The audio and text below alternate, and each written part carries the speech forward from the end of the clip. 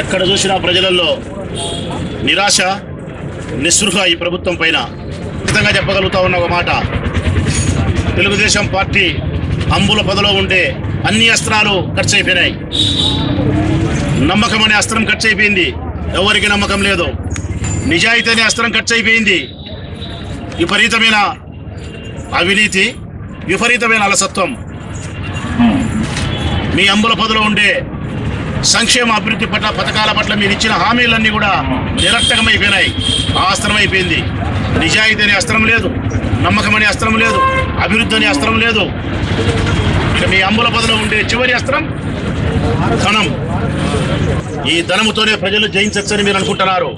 ప్రతిసారి డబ్బులతో ప్రజలు కొనుగోలు చేయొచ్చు అనుకుంటున్నారు. ఎమ్మెల్యేలు కొనుగోలు చేసినట్టు. పొరపాటు.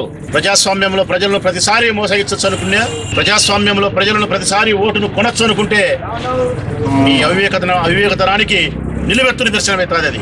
ఎన్ని వందల కోట్ల రూపాయలు మీరు ఖర్చు చేసినా ప్రజలకు ఎన్ని వేల రూపాయలతో ఓట్లను మీరు కొనుగోలు చేసినా కూడా ఈసారి జగన్ సునామీలో నీ ప్రభుత్వం బంగాళాఖాతంలో కలపడం ఖాయం. ఏకపక్షంగా జనమంతా కలిసి జననేత జగన్మోహన్ రెడ్డికి పట్టం కట్టబోతా ఉన్నారు.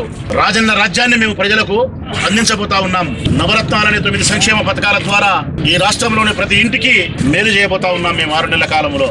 పెన్షన్ రెండు వేలు చేయబోతా ఉన్నాం. అన్నిటికంటే గొప్ప విషయం నలభై ఐదు సంవత్సరాలకే పెన్షన్ ఇవ్వబోతా ఉన్నాం. ప్రతి చెల్లెలకు పెన్షన్ వస్తుంది. అరవై ఐదేళ్ళకు పెన్షన్ వచ్చే వయస్సును నలభై ఐదుకు తగ్గించింది వైఎస్ఆర్ కాంగ్రెస్ పార్టీ.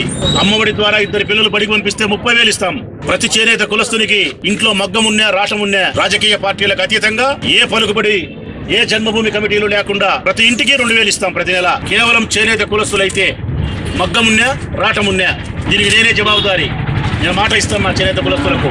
ఈ ఊర్లో ఉండే ప్రతి చేనేత కులస్తునికి ఇంటికి రెండు వేల చొప్పున పెన్షన్ నేను ఇప్పించకపోతే నలభై సంవత్సరాల వయసు కలిగిన ప్రతి అన్నకు తమ్మునికి సోదరికి ఎస్సీ ఎస్టీ బీసీ మైనారిటీ కులస్తులకు రెండు వేలు పెన్షన్ ఇస్తాం.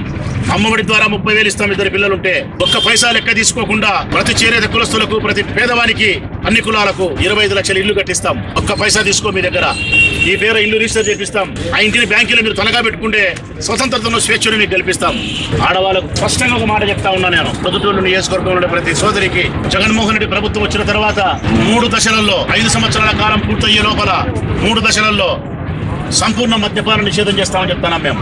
నేనైతే ఇది సంపూర్ణంగా మనస్ఫూర్తిగా నేను ఆహ్వానిస్తా ఉన్నా ఈ పథకాన్ని. ఈ రాష్ట్రంలో మద్యపాన నిషేధం చేయాల్సిన అవసరం ఉంది. సారాయి వలనే ప్రతి ఇల్లు సర్వనాశనం అవుతుంది. ప్రతి చెల్లెలు బాధపడే పరిస్థితి ఉంది. తక్షణమే మద్యపాన నిషేధాన్ని చేయాల్సిన బాధ్యత ఈ రాష్ట్రంలో ప్రభుత్వాల పైన ఉంది. కాపాడాల్సిన బాధ్యత ప్రభుత్వం పైన ఉంది. అది జగన్మోహన్ రెడ్డి తీసుకున్నాడు. శిరస్సు వంచి ధన్యవాదాలు చెప్తా ఉన్నా నేను.